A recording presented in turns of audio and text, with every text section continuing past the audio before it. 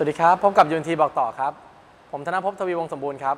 มีหลาย ๆ ท่านนะครับ แนะนำหรือว่าส่งข้อความให้ผมเนี่ยอยากจะให้แนะนำเรื่องของการใช้เกียร์นะครับเกียร์อัตโนมัติ หรือว่าเกียร์ธรรมดาก็แล้วแต่ในการขึ้นเขานะครับขึ้นเขาลงเขาว่าต้องใช้อย่างไรบ้างนะครับในเทปนี้นะครับผมจะแนะนำเทคนิควิธีการขับรถขึ้นเขาลงเขานะครับงั้นดีกว่าเนาะ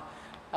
เป็นการใช้งานยังไงบ้างเดี๋ยวผมจะขออธิบายเป็นส่วน ๆ ไปแล้วกันนะครับในเทปนี้นะนะครับไปครับเดี๋ยวผมแนะนำให้ดูครับ ครับผมขออนุญาตเกรินในส่วนของการขับรถขึ้นทางลาดชันก่อนดีกว่านะครับปัญหาที่หลาย ๆ ท่านเนี่ยใช้ใช้งานไม่เต็มประสิทธิภาพนะครับขอใช้คำนี้ดีกว่า ก็คือเวลาที่เราขับรถขึ้นทางลาดชันเนี่ยนะครับวิธีการเนี่ยไม่ว่าท่านจะมาด้วยเกียร์ธรรมดาหรือเกียร์ออโต้ก็แล้วแต่นะครับหลักการนะครับคือวิธีการคือเมื่อสมมุติเรามาความเร็วสักประมาณหลักการเนี่ยจะอยู่สักประมาณสัก 80 แล้วกันเนาะเรามาสัก 80เราวิ่งความเร็วมาสัก 80ปุ๊บทีนี้เราใช้วิธีการรักษาความเร็วของเรา อเราเริ่มขึ้นทางลาดชันปุ๊บนะครับโดยเนินที่เราขึ้นเนี่ยนะครับมันเราจะจับความสูงองศาไม่ได้ถูกไหมครับทีนี้เวลาเราขึ้นขึ้นไปปุ๊บเนี่ยสิ่งที่เราจะเจอก็คือกำลังเครื่องยนต์จะตกลงนะครับแปลว่า1ครับ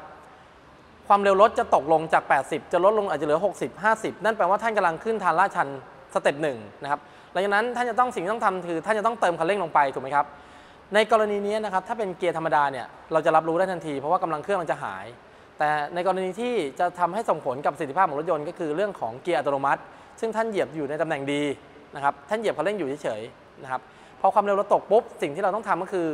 เกียร์อัตโนมัติเนี่ยนะครับมันสามารถ change ลงมาได้นะครับเราก็ต้อง change ลงมาในสเต็ปแล้วแต่นะครับแล้วแต่รุ่นของรถด้วย ในส่วนของอีซูซุเนี่ยนะครับถ้าเป็นตัวก่อนที่จะเป็น all new นะครับให้ท่านนะครับกดด้านข้าง กดปุ่มด้านข้าง แล้วดึงลงมาเลย จากตำแหน่งตัวดีก็คือเกียร์4ของเราอยู่แล้ว จะลงมาเหลือเกียร์3ทันทีนะครับ แต่ถ้าเป็นตัว all new ของเราเนี่ยนะครับให้ท่านดึงคันเกียร์นะครับเข้าหาเราเข้าสู่โหมดของเลฟโทนิกเมื่อท่านดึงคันเกียร์เข้าหาตัวเรานะครับหน้าจอจะถูกเปลี่ยนตัวเลขไปทันที สมมติว่าท่านวิ่งมาที่เลข 5 ก็คือเกียร์5นะครับให้ท่านเชนลงมาที่ตำแหน่งตัวลบนะครับจาก 5 จะลงมาเป็น 4 ทันทีนะครับความเร็วของท่านก็จะเพิ่มขึ้นแล้วก็รอบเครื่องยนต์ท่านจะตีขึ้น นั่นแปลว่ากำลังของเครื่องยนต์ท่านกำลังขึ้นมา แต่ถ้าในเกียร์ธรรมดานะครับนั่นแปลว่าท่านวิ่งมาที่ความเร็วเกียร์5ท่านก็ต้องเหยียบคลัตช์เพื่อทำการเปลี่ยนเกียร์ให้ลงตำแหน่งเกียร์4นะครับ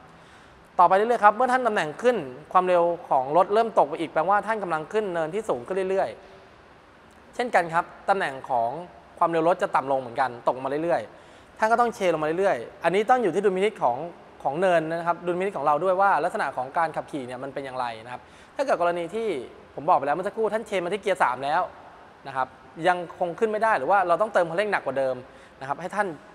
เลื่อนลงมาถึงตำแหน่งเลข 2 เลยนะครับเลข 2 หรือถ้าเป็นโหมดเลฟโทนิกนะครับท่านก็เลื่อนที่ตำแหน่งลบลงมาเป็นเลข 2 เลยเหมือนกันนะครับเลข 3 เลข 2 ให้กำลังเครื่องยนต์เนี่ยนะครับสูงขึ้นไปเรื่อยๆนะครับแปลว่าตอนนี้ท่านกำลังจะขึ้นเขานะครับกรณีนี้ส่วนเกียร์ธรรมดาเนี่ยท่านสามารถเหยียบคัตแล้วเปลี่ยนเกียร์จากตำแหน่งเกียร์4เมื่อสักครู่นะครับเคลื่อนเป็นเกียร์3เลย หรือว่าถ้ามันสูงมากก็ลงมาเป็นเกียร์2เลยนะครับนี่ในขณะที่ตอนขึ้นนะครับ เวลาขึ้นเนี่ยผมไม่ค่อยห่วงเท่าไหร่นะครับเพราะว่าหลาย ๆ ท่านมีทักษะในการขึ้นเพราะว่าต้อง change เกียร์นะครับแต่ว่าถ้าเป็นเกียร์อัตโนมัติเนี่ยถ้าท่านไม่ใช้เกียร์เกียร์แบบนี้ในการ change นะครับสิ่งที่ท่านจะเจอก็คือ ท่านจะต้องเติมคันเร่งมาก ก็คือจะเปลืองน้ำมันโดยใช่เหตุเลยนะครับเพราะว่าเราต้องเอากำลังเครื่องยนต์ไปฉุดนะครับนี่คือสเต็ปของการขึ้นทีนี้ท่านขึ้นมาถึงตรงไหนก็แล้วแต่นะครับก็ดูที่ความเร็วแต่ส่วนหลักๆการเนี่ยนะครับในในที่เที่ยวของบ้านเราซะส่วนใหญ่นะครับจะอยู่ประมาณเกียร์4เกียร์3อยู่ประมาณ 2 เกียร์แค่นี้ครับ 4 กับ 3 4 กับ 3 ที่ผมเคยเจอนะครับแต่ถ้าเป็นช่วงเทศกาลรถเยอะๆนะครับอย่างปีใหม่นะครับภาวะที่รถติดเยอะๆท่านอาจจะต้องลงมาถึงเกียร์2เลยก็ได้เพราะว่าในการชะลอตัวของท่านเนี่ยมีเยอะเหมือนกันนะครับอาจจะต้องลงถึงเกียร์2เกียร์3และเกียร์4อันนี้ที่ผมแนะนำนะครับให้ท่านใช้คืออยู่ที่ความเหมาะสมของการใช้งานในการเปลี่ยนเกียร์แต่ละช่วงนะครับอันนี้แนะนำในช่วงของตอนขึ้นแล้วกันครับครับส่วนถัดมานะครับเมื่อสักครู่ที่ผมกล่าวไปเนี่ยนั่นคือในเรื่องของกรณีที่เราค่อยๆ ขับขึ้นทางลาดชันที่ไม่ค่อยโหดเท่าไหร่นะครับอันนี้สามารถขึ้นได้ปกติ นะครับรถเก๋งขึ้นได้ปกติ แต่สเต็ปถัดมาครับ กรณีที่เราไปเที่ยวที่โหดๆนิดนึง อันนี้ต้องเปลี่ยนสเต็ปจากรถรถรถเก๋งเนี่ยนะครับต้องเป็นพวกรถปิกอัพแล้วพวกนี้กลุ่มนี้จะเป็นรถปิกอัพแต่ยังไม่ใช่ four-wheel นะ ผมไม่ได้พูดถึง four-wheel เลย พูดถึงการใช้เกียร์เราต่างหากนะครับอย่างเช่นที่เที่ยวที่ไหนดีเนาะทองผาภูมิ อย่างนี้เป็นต้นนะครับเขาก็โจมนะครับหรือว่าโหดๆหน่อยพวกแก่งอาจารย์เข้าไปข้างในครับลึกๆ หรือว่าเข้าไปแบบประเภทกึ่งๆจะออฟโรดแต่ว่าไม่ใช่ขนาดนั้นนะครับกลุ่มนี้นะครับจะใช้ความเร็วได้น้อย จะวิ่งได้แค่ 40 เต็มที่นะครับกลุ่มนี้วิธีการครับท่านไม่ต้องใช้ดีเฉยๆเลยครับใช้ตำแหน่งคือท่านต้องอยู่ที่ตำแหน่งของคันเกียร์เนี่ยท่านต้องปลดลงมาแล้ว หรือว่าถ้าเป็นตัวใหม่ของเราก็คือเลฟโทนิกท่านต้องปรับเข้ามาโหมดเลฟโทนิกนะครับแล้วท่านต้องเลื่อนตำแหน่งคันเกียร์ลงมาให้อยู่ประมาณสักเลข 2 หรือเลข 3 ท่านจะวิ่งได้แค่นี้เองครับความเป็นจริงนะครับหรือบางจุดที่ท่านจะต้องเจอหักเลี้ยวขึ้นเนินแล้วต้องหักเลี้ยวอีก อย่างนี้ท่านเข้าเลขหนึ่งเลยนะครับอันนี้คือโหดมากนะครับ วิธีการก็คือเวลาท่านเริ่มเข้าปุ๊บเนี่ยนะครับให้เราให้เราอ้างอิงคือดูคันเร่งกับตัวของรอบเครื่องยนต์เป็นหลักนะครับเบรกเนี่ยไม่ต้องสนใจครับเพราะว่ากำลังเครื่องยนต์มันฉุดอยู่แล้วนะครับเพราะฉะนั้นในการขึ้นเนี่ยท่านไม่ต้องใช้หรอกครับเบรกนะครับไม่ใช้แน่นอนนะครับท่านค่อยเติมไปเรื่อยๆวิธีการอยากจะให้ท่านเนี่ยดูที่รอบเครื่องยนต์เป็นหลักนะครับอยู่ที่รอบแรงบิดของรถยนต์เป็นหลักนะครับถ้าของอีซูเนี่ยไม่ว่าจะเครื่อง 2,500 หรือ 3,000 นะครับควรจะอยู่ที่ไม่เกิน 2,000 รอบนะครับขับประมาณนี้นะครับแล้วเปลี่ยนเกียร์เปลี่ยนเกียร์นะครับเชนไปเรื่อย2มั่ง3มั่ง 2มั่ง3มั่งดูที่ความเชิญของเนินนะครับส่วนถ้าเกียร์ธรรมดานะครับอันนี้ง่ายครับ แต่เกียร์ธรรมดามีข้อระมัดระวังครับที่ผมเคยเจอคือบางบางคนเนี่ยนะครับใช้วิธีคือเข้าเกียร์เสร็จแล้วคาเกียร์ไว้ หมายความว่าคาเกียร์ไม่ว่าคือเลี้ยงคัดทิ้งไว้นะครับเลี้ยงไว้ครึ่งหนึ่งอันนี้ผิดนะครับผิดเป็นวิธีที่ผิดมากในการเข้าขึ้นทางลาดชันขึ้นเนินแบบนี้นะครับท่านต้องคือจะขึ้นจะขึ้นเกียร์ไหนท่านเกียร์นั้นพอเหยียบคลัตช์เสร็จปุ๊บเหยียบคลัตช์เป็นเกียร์เสร็จปุ๊บท่านก็ยกเท้าออกเลย แล้วก็ให้รอบเครื่องยนต์เนี่ยวิ่งไปสภาวะแบบนั้นเลย นะไม่ใช่คาไว้เอ๊ะเนินนี้มันยังชะลอชะลอท่านก็เหยียบไปครึ่งหนึ่งแบบนี้ผิดอันตรายมากนะครับเพราะว่าท่านกำลังจะตัดต่อกำลังเครื่องกับเกียร์จะไม่มีอะไรมาฉุดนะจะทำให้เกิดภาวะอันตรายได้นะครับอันนี้ ในส่วนของเกียร์ออโต้นะครับถ้าพูดกลับมาเกียร์ออโต้เนี่ยนะครับก็คือท่านควรจะใช้ประมาณ 2 3นะครับแล้วก็ดูตามความเหมาะสมพวงมาลัยครับจำเป็นต้องอยู่อย่างไหน รวมทั้งการตัดโค้งนะครับอันนี้สำคัญนะครับเวลาตัดโค้งตัดโค้งที่นี่คือหมายถึงว่า ถ้าท่านต้องการเลี้ยวขวานะครับถ้าไม่มีกรณีที่โค้งมันเปิดนะครับโค้งมันเปิดนะครับท่านควรจะต้อง เอาพวงมาลัยเนี่ยครับหรือว่าล้อขวาเนี่ยเหยียบเข้าไปที่มุมด้านในขวาเลย คือการตัดโค้ง ถ้าท่านอยู่ในมุมนอกนะครับถ้าเกิดท่านตัดเนี่ยตัดแล้วเกิดมุมรัศมีที่มันค่อนข้างกว้างมากเนี่ยนะครับจะเกิดภาวะอันตรายได้เหมือนกันนะครับเพราะฉะนั้นแนะนำให้วิธีคือตัดโค้ง แต่ว่ากรณีที่รถไม่มีนะครับอันนี้จะช่วยได้เยอะเหมือนกันนะครับเพราะว่ากำลังเครื่องยนต์จะจะจะถูกผ่อนผ่อนลงไปด้วย ด้วยการที่ท่านตัดโค้งเป็นนะครับอันส่วนนี้ต้องใช้ทักษะเป็นไงครับ อันนี้ต้องต้องฝึกซ้อมนะครับเจอบางคันครับใช้ตำแหน่งเกียร์ดีไม่หยุดเลย เกิดภาวะอะไรขึ้น ถ้าในเกียร์ของอี u ูนะครับไม่ว่าจะเป็นรุ่นเก่ารุ่นใหม่ หากท่านขึ้นภาวะเกียร์ดีอย่างเดียวเลยนะครับ แล้วขึ้นภาวะที่เนินปกติอย่างนี้เลยนะครับขึ้นไปเรื่อยๆเนี่ยจนถึงถึงปลายทางท่านเลยเนี่ยนะครับขึ้นได้ไหมผมบอกว่าขึ้นได้ครับเพราะว่าแรงบิดของรถมันสูง แต่ว่าสิ่งที่ท่านจะเจอคือเครื่องยนต์จะร้อนจัดนะครับจะมีไฟโชว์ของอุณหภูมิน้ำมันเกียร์ติดขึ้นมาทันทีนะครับว่าขณะนี้เกียร์ท่านร้อนแล้วนะครับอันนี้จะเกิดส่งผลให้เกียร์เนี่ย เกิดปัญหาทันทีนะครับเกียร์อาจจะพังได้นะครับเนี่ยครับวิธีการท่านหนึ่งต้องทำการเชนให้เป็นนะครับเชนเกียร์ลงมาเชนเกียร์ลงมา ทักษะนี้ต้องฝึกซ้อมนะครับ ต้องฝึกซ้อมแล้วไปใช้ด้วยนะครับโอเคครับเดี๋ยวจะแนะนำวิธีการลงให้นะครับ ครับในทีทีนี้ภาวะของการลงครับ ในการลงทางลาดชันเนี่ยสิ่งที่ผมภาวะพะวงแล้วก็กลัวที่สุดนะครับ คือไอตอนขึ้นเนี่ยครับมันไม่ค่อยอันตรายเท่าไหร่หรอกนะครับถ้าถามผมนะในภาวะจริงๆ ในตอนลงเนี่ยครับจะจะจะเกิดภาวะอันตรายอยู่หลาย ๆ ส่วนนะครับหนึ่งเนี่ยถ้าเราใช้เกียร์ไม่เป็นนะครับก็คือทำให้เกียร์พังได้นะนะครับไม่ใช่ว่า change แหลกอย่างเดียวเลยนะครับสองคือทำให้เบรกไหม้นะครับบางทีเราเคยเจอข่าวเนาะบางทีเจอข่าวรถปิกอัพหรือว่าไม่ใช่รถปิกอัพคือรถบัสรถสูงๆเนี่ยรถพวกนั้นยิ่งมีขนาดหนักมาก ถ้าเกิดเราไม่เชนเกียร์ช่วยนะครับจะเกิดภาวะอย่างนั้นคือยิ่งมีน้ำหนักบรรทุกนะครับหรือแม้แต่รถปิกอัพเราเนี่ยถ้าเกิดเราลงมามีของภาวะของเต็มรถเลยนะมีของมีคนเต็มคันรถเนี่ยมันก็จะมีน้ำหนัก แปลว่าเวลาท่านลงเนี่ยนะครับก็จะมีภาวะบวกเสริมเข้ามาด้วย ในการเบรกของท่านเนี่ยจะต้องเบรกมากกว่าปกติบนทางเลียดถูกไหมครับเพราะนั้นเบรกท่านจะทำงานมากขึ้นนะครับภาวะนี้น่าห่วงนะครับเดี๋ยวผมจะขอแยกเป็นเป็นหมวดนี้แล้วกันนะครับ ถ้าภาวะของการลงผมขอเอาเกียร์ธรรมดาก่อนนะครับเอาลงแบบไม่โหดอารมณ์แบบไม่โหดเนาะคือลงหมายถึงว่าท่านกำลังลงแล้วแบบมองเห็นอย่างเช่นอะถ้าถ้าอย่างนี้ท่านท่านนึกภาพก็คือลาดบุรี วิ่งไปในลาดบุรีต่างๆนะครับจะเจอแบบภาวะอย่างนี้คือมันจะเจอมองเห็นมองแต่ไกลๆครับเอ้ยตรงนี้ทางลงตรงนี้ทางขึ้นอันนี้มองมองมองด้วยตาเปล่าเห็น ภาะวะนี้เกียร์ธรรมดานะครับสิ่งแรกเลยถ้าเราเจอทางที่เป็นลาดชันลงไปมองเห็นชัดเจนเนี่ยสิ่งที่ท่านทำนะครับ ท่านตัดเกียร์5ทิ้งเลย ท่านต้องลงมาที่ตำแหน่งเกียร์4ก่อนเลย รอที่ตำแหน่งเกียร์4เพื่ออะไรครับ เพราะว่าตำแหน่งเกียร์4เนี่ยคือตำแหน่งของเครื่องยนต์กับเกียร์เนี่ยส่งกำลังกัน 1 ต่อ1นะครับเครื่องยนต์หมุนหนึ่งรอบเกียร์หมุนหนึ่งรอบล้อหมุนหนึ่งรอบเท่ากัน กรณีนี้เพราะนั้นเกียร์5ท่านจะไม่ใช้แล้วเพราะว่านั่นคือการใช้กันตาเกียร์ทดนะครับไม่ใช้มันนะครับท่านอยู่เกียร์4เลยครับมองเลย แล้วก็ขับไปภาวะที่ความเร็วที่เราประคองได้ เช่นกันครับ วิธีการลงก็อย่าลืมตัดโค้งเหมือนกัน แต่แต่ต้องภาวะที่ไม่มีรถเข้ามานะครับ คือตัดโค้งเนี่ยการตัดโค้งจะช่วยท่านได้เยอะ เบรกเราใช้ให้น้อยใช้ให้บางนะครับ เวลาที่เราลงเวลาลงเนี่ยนะครับเราจะใช้เวลาลงปุ๊บสิ่งที่เราต้องคำนึงถึงนะครับเกียร์ธรรมดาก่อนนะเราลงปุ๊บท่านต้องคำนึงถึงรอบเครื่องยนต์เป็นหลัก ถ้ารอบท่านเกิน 2,000 รอบไปมากเกินแล้วเนี่ยแล้วก็ความเร็วส่งส่งมาเยอะเนี่ยท่านต้องรีบเหยียบคลัตช์แล้วก็เปลี่ยนเกียร์จากตำแหน่ง 4 ที่ผมบอกเมื่อสักครู่ครับลง3นที ให้มันตื้อขึ้นมาครับให้มันค้างขึ้นมาเลยครับค้างรอบขึ้นมา พอมันตื้อไว้ปุ๊บเราก็ประคองไว้ แต่ถ้ามันเริ่มลงเรื่อยๆเรื่อยๆอีก ให้ท่านใช้วิธีคือแตะเบรกบางๆ อย่าแตะหมดนะครับ อย่าแตะหมดอันนี้อันตราย และเบรกจะร้อนด้วย ให้แตะบางๆครับ แตะบางๆ แล้วยังรู้สึกว่า เอ้ย มันยังไปเร็วอยู่ รถยังไปเร็วอยู่ ให้ท่านเริ่มเปลี่ยนเกียร์จากตำแหน่ง 3 ลงมา 2 ครับ แล้วก็เริ่มความเร็วให้ลดลงไปเลย เพราะว่าในการลงทางลาดชันนะครับท่านไม่ต้องกังวลเรื่องความเร็วนะครับไม่ต้องเอ้ยรถคันหลังเขาจี้เรามาไม่เกี่ยวครับเพราะว่าคือเอาความปลอดภัยเป็นหลัก เราต้องคำนึงถึงว่ารถเราสามารถเบรกชะลอกับคันหน้าเนี่ยได้มากน้อยแค่ไหนนะครับอันนี้สิ่งสำคัญนะครับแล้วก็ท่านก็ต้อง change เกียร์ตามความเหมาะสม ลงเขาที่สำคัญห้ามเลียคลัตช์โดยเด็ดขาดนะครับแปลว่าท่านเหยียบคลัตช์ปุ๊บจะเปลี่ยนเกียร์อะไรก็ยกเท้าออก เพื่อให้กำลังเครื่องกับกำลังเกียร์เนี่ยฉุดถึงกัน นี่คือสเต็ปแรก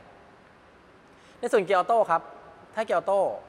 วิธีใช้งานเกียร์ออโต้ครับ ถ้าเกิดว่าท่านลงแบบเดียวกันเลยที่เดียวกันเลยนะ ที่แบบมาที่เดียวกันนะครับ หมายความว่าท่านมองเห็นแล้วเนินแบบไม่ไม่ไม่ลึกไม่โหดเท่าไหร่เกียร์โต้สิ่งที่ท่านพะวงถึงต้องคำนึงถึงนะครับ อันดับแรกเลยคือท่านต้องลดความเร็วลงนะครับ แล้วอยู่ตำแหน่งดี ถ้าเป็นในรุ่นก่อน all new นะครับ ท่านต้องรีบอยู่ตำแหน่งดีใช่ไหมครับยังอยู่เกียร์4อยู่ ท่านดูความเร็วก่อน ท่านอาจจะเลื่อนคันเกียร์มาที่ตำแหน่งเลข3เลยนะครับ แต่ถ้าเป็นตัว all new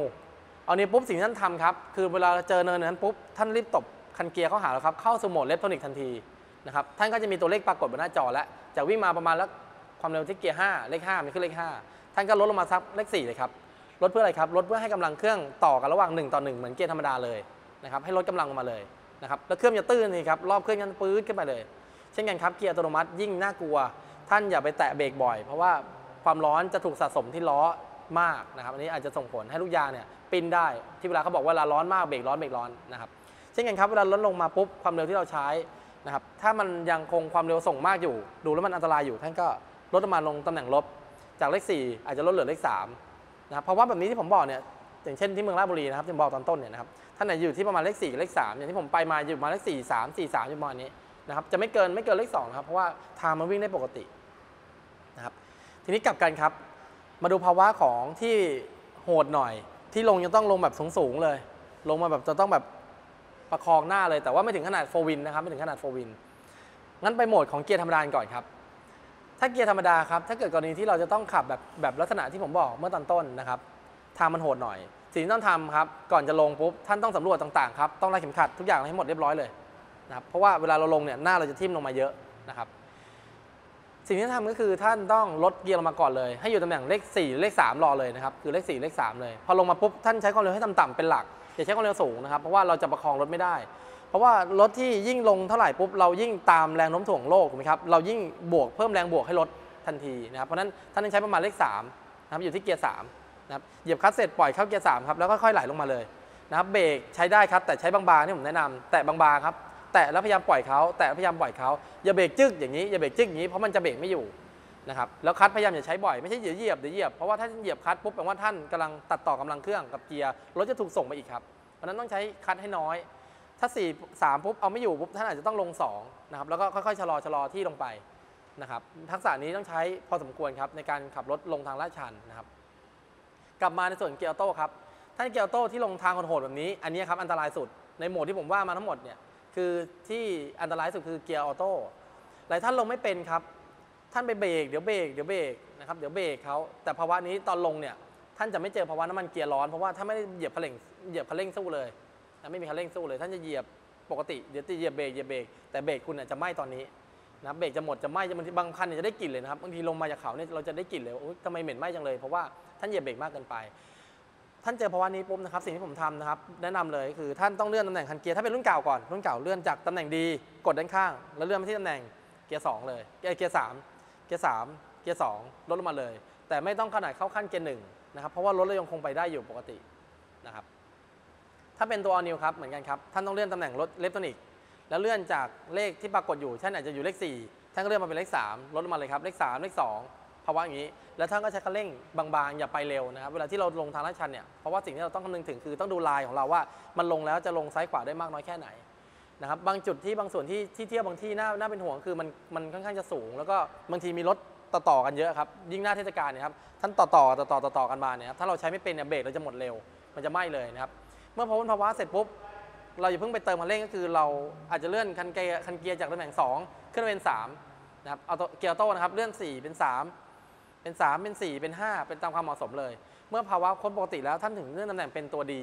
นะครับอันนี้คือวิธีการเข้าเกียร์อัตโนมัติเพราะฉะนั้นสิ่งที่มาระวังคืออย่าใช้เบรกมากนะครับเติมน้อยๆเติมน้อยๆเติมน้อยๆนะครับใช้บ่อยๆนะครับแต่ว่าบางส่วนมันจุดอาจจะต้องใช้ทักษะสูงขึ้นมาอีกคืออาจจะต้องใช้ขนาดใช้เบรกมือดึงขึ้นช่วยด้วย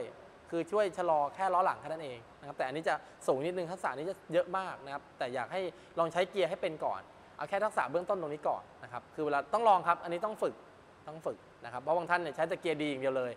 ถ้าใช้แต่ D อย่างเดียวขึ้นได้ไหมขึ้นได้ แต่ว่าตอนขึ้นเกียร์จะร้อน ตอนลงเบรกจะไหม้เบรกจะหมดนะครับเพราะนั้นท่านใช้ภาวะอย่างนี้ให้ดีครับ แล้วก็ดูที่ความร้อนของเครื่องยนต์เป็นหลักด้วยควบคู่กันนะครับแอร์ก็ไม่ควรจะเปิดถ้าเร่งแรงเกินไปเวลาภาวะเครื่องมันฉุดเยอะๆนะครับเอาที่ความเย็นเหมาะสมพอซึ่งเวลาเราจะขึ้นจะลงปุ๊บรู้สึกว่ามันโหดเราก็อาจจะลดตำแหน่งแอร์ลงมาเหลือเกียร์หนึ่งเบอร์หนึ่งเบอร์สองก่อนนะครับเมื่อพ้นภาวะนั้นค่อยเพิ่มความแรงของแอร์ไปนะครับอันนี้ช่วยท่านได้ครับภาวะนี้